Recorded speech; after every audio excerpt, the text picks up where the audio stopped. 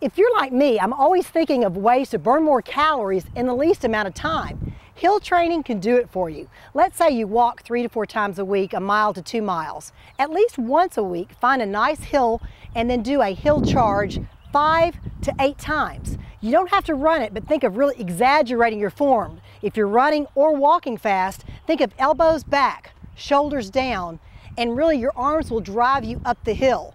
While you're doing hill training, you're burning off a lot more calories because you're actually lifting your body weight all the way up the hill. Go down easy on the way down to protect your knees and then again, charge again. Maybe it's about 100 yards.